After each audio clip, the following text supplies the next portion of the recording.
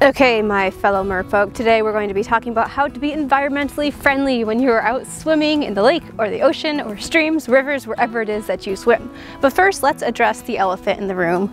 I lost the top to my lapel mic, so now I have a clumped up piece of dog fur as a windbreaker, and it works. So that's what that is. That is dog fur taped to my mic because sometimes the redneck solution is the best solution. And plus, it's eco-friendly. In this video, I'm going to be giving you seven different tips on how to be environmentally friendly as a mermaid or a merman or any sort of person who likes to swim in the water or just enjoy nature in general. So hopefully this video will have a little bit of something for everybody. I'm gonna just bust right through because it's freezing out here, it's fall, and I'm cold. So let's get started.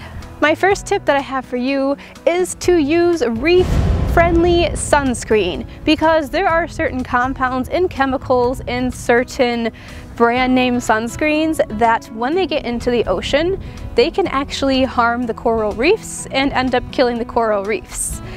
Now, believe it or not, this guy here, which somebody gave to me, I didn't buy it, you should never buy coral. This is a real piece of coral. Coral is actually an animal. It is not a plant, it is not a rock, it is an animal. And just like sloths have little tiny bugs and moss and whatever growing on their backs, and they are very important to their habitat for those little critters, coral reefs are important to a wide range of different fish and aquatic life. They are animals, but they are animals that are very, very important, and they allow people to go see all the beautiful things you would see on a scuba diving adventure. So get some reef-friendly sunscreen if you're going to wear sunscreen. I will link some down below. Experiment and find out which one works best for you. Personally, I just don't wear sunscreen because I'm really bad about that, and I usually swim in the evening. And if you're like me and you don't like sunscreen, you can also wear hats and long sleeve clothing because that will help keep the sun off of you too. The second way you can help keep our oceans, lakes, and rivers clean when you go to the beach to swim or lounge or whatever it is you do there is a given one. Pick up after yourself and pick up after others. If you have something that you take with you to the beach, make sure that it comes back with you or goes in the trash can or recycle bin or wherever it is that it needs to go. And if you happen to see some things that other people leave laying around on the beach, pick it up. Or if you notice that somebody left something there and they're still there, say, hey, I noticed you forgot that over there. And if nobody's around, you can always, if you have gloves, pick stuff up with your hands. If you don't have gloves and something is slightly sketchy looking, I like to take sticks because sticks are usually found everywhere. I like take sticks or leaves leaves kind of to use an, uh, as an alternative to bags since they're pretty thick, or sticks, you can kind of shove them on things or use them as chopsticks and pick stuff up and put it in the trash can safely. I have a bunch of videos titled Good Clean Fun on my Instagram stories, so you can go watch that if you want some inspiration for how to clean up and have fun at the same time. And if you are a mermaid, whether you are a professional mermaid or someone who just does this for fun, you know what? If you find something in the water, because you will find stuff in the water, I find stuff everywhere. If it's something that's not sharp or something that's not dangerous, you could always ask a child to throw it in the trash can for you because kids love it when mermaids ask for their help because obviously they're going to remember that a mermaid asked them to help keep the ocean or lake or river or whatever it is clean and then they might carry that on throughout the rest of their life and help you out more by keeping your swimming area clean. So I've done this before. I've had some kids help me fish some cellophane out of the water. I guess I fished it out, but there were fish trying to eat it. So I picked it up out of the water and since I couldn't climb up on the rocks, I tossed it out to the kids and asked them if they could throw it away for me and they were so excited to help out and I'm very grateful for them. Yes, go team. So that's tip number two. Let's move on to number three.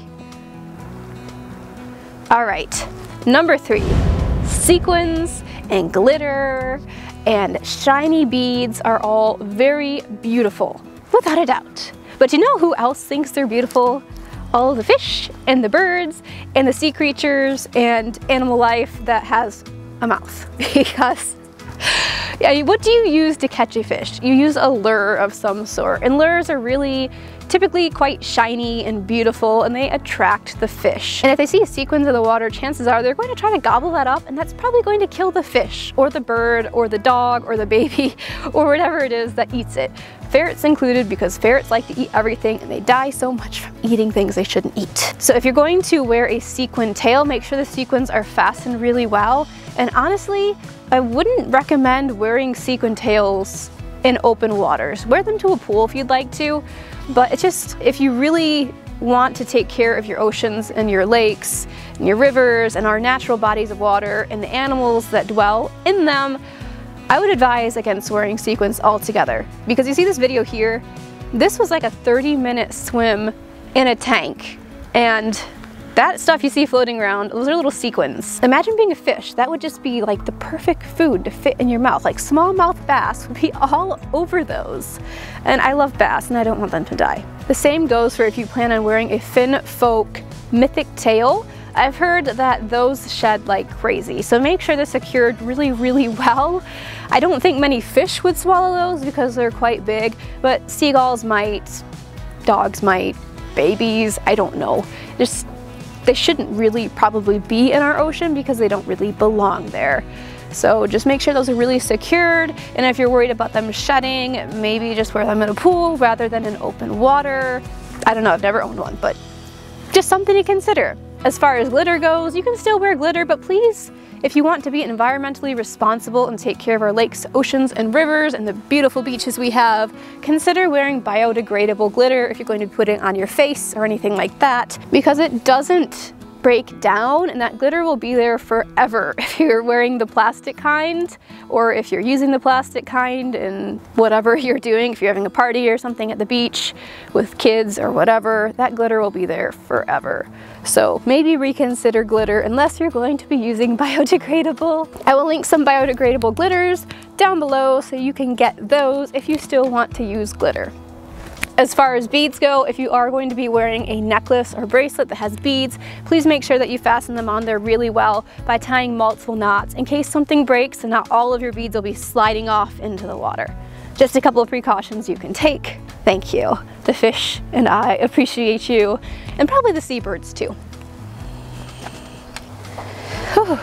Wardrobe change because I'm freezing cold. It's like 30 degrees out. My fingers are so red. The fourth tip that I have for you is to be respectful of the plants and the animals that you come into contact with when you're swimming in a natural body of water. Now I know it can be very tempting to chase after really cool looking fish and sharks and whatever. Probably shouldn't chase sharks in general. You don't want to get hurt if you are charging after something. You don't want to hurt something if you are trying to touch it and you touch it and it like is really sensitive. I don't know. Just keep your hands off of things, okay? Don't touch fish, don't touch coral, obviously don't touch a shark. Just uh, be respectful of the animals and creatures that you encounter, be nice to them. Same with the plants, just don't go yanking seaweed out of the water. I mean, sometimes when you swim through it, it will break. Depends on the type of seaweed you're dealing with. But just try to be respectful and not destructive when you're swimming if you want to, I guess, respect the creatures out there. So that's kind of a, a weird one, kind of fits into this, kind of doesn't. Let me know your thoughts down in the comments. And let me know if you ever had any cool interactions with animals because I have before and I would actually love to share some of those stories in a video someday because Lake Michigan has some really awesome inhabitants and I love them. This fifth tip applies mostly to mermaids who have silicone mermaid tails, but before I get to it, look at this cool scenery behind me. I'm so satisfied with how that looks. It's so beautiful. So if you are a mermaid with a silicone mermaid tail, obviously you're going to have to use a lubricant of some sort to get into your tail. And if you're going to be swimming in a natural body of water, it's very important to use something as natural as possible or with as few ingredients as possible. My favorite things to use are Astroglide's liquid water-based lubricant. I have a whole video on how to get into a silicone mermaid tail and you can check that out in the description box. But Astroglide works really well. You don't have to use much of it, so there's very little of anything going into the water, which is nice. But if you're going to be using like a conditioner, try to look for something more natural. Love Beauty and Planet has great conditioners. I'll link them down in the description box below if you'd like to buy some. And they have very few ingredients and many of them are very natural things that you would find growing somewhere on this planet anyways. Try to stick with something natural. You probably shouldn't be using coconut oil because it's not good for your tail, but you could probably use water if you want to. I haven't actually tried that, but it would probably work. Just try to avoid things that have a lot of harsh chemicals. It's probably not good for your tail anyways, and it's definitely not good for the creatures that are swimming in the water. You reel in my microphone, and we'll get on to number six. Yeah, I'm part dragon. Number six is something that is very important no matter whether you are a mermaid swimming or if you're somebody who has a boat and you're taking your boat out in the water or if you're snorkeling or scuba diving or whatever it is that you like to do, you want to make sure that you are cleaning your equipment or your boat or whatever it is you're using. In this case, a mermaid tail, maybe a wig, maybe a shell bra, whatever. Make sure you clean your equipment or let it dry thoroughly before you go back into the water if you swim in natural bodies of water.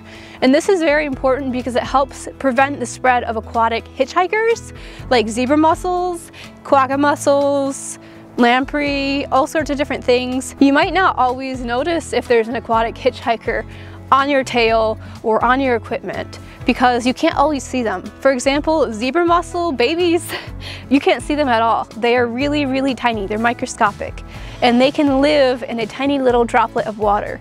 And if you have a tiny droplet of that water with that zebra mussel baby in your tail and you go to a lake that does not have zebra mussels, guess what? That lake is now going to have zebra mussels thanks to you. By not cleaning your equipment, you can introduce all sorts of invasive creatures to your natural body of water that will potentially kill off some of your favorite seed creatures that naturally live in your body of water. So make sure you clean your stuff really well. I have some tips on how to clean your mermaid tail down in the description box. I'll link those there, how to bathe it, how to rinse it, how to dry it, all that good stuff. I'm not going to move for number seven because, well, I'm cold. That would be just in general when you're at home and doing your thing. Ha, there's a boat. Boat. They're coming in behind us. Oh my gosh, I'm so excited. Hello boat. Uh, when you're at home, do your best to recycle. Try not to buy things that are just like teeming with plastic and just be more conscious of the things you buy. If you're throwing a bunch of stuff away that could be recycled, just little tiny things like that can make all of the difference. Say hi to our boaters. So that's my seventh tip for you, is just maybe recycle. Remember, not everybody has to be perfect with recycling and doing everything right all the time, but if everybody's doing their part to make a difference here and there, it does add up and it does help benefit our earth and ultimately our lakes. Now, I have a bonus tip for you, and I'm not moving for this one either because I am still freezing cold, surprise. Eighth tip is to share this video with somebody who you think could benefit from it. Because the more we share things like this, information on how to take care of our lakes, take care of our oceans, take care of our planet, the more people that will actually maybe help because not everybody thinks of this kind of stuff, believe it or not. I think as merfolk with us being in the water all the time, surrounded by the natural beauty of things, we're more conscious of the stuff that goes on in our lakes and at our beaches, and we just see more of the trash, we see more of the pollution, we see more of the aquatic hitchhikers, or we feel them with our fingertips. And uh, I don't think other people are always quite as aware, especially people who live in the cities and don't get to see all this beautiful stuff all of the time. So feel free to share this video with others and two, if you would like to help encourage others to be more environmentally responsible and to take care of our planet better, just remember sometimes gentle is the best way. Nobody likes to be forced into anything, but uh, people are often very receptive to kind kind redirection, if that's what you want to call it. Thank you so much for watching. I hope you found this video helpful and I hope you will do your part to help keep our world a beautiful and clean place. If you have any other tips to leave, please put them down in the comments below and I'll try to create a pinned comment including all those tips and I'll be sure to give yours a big heart. Thanks for watching. I'll see you next Friday. Don't forget to subscribe.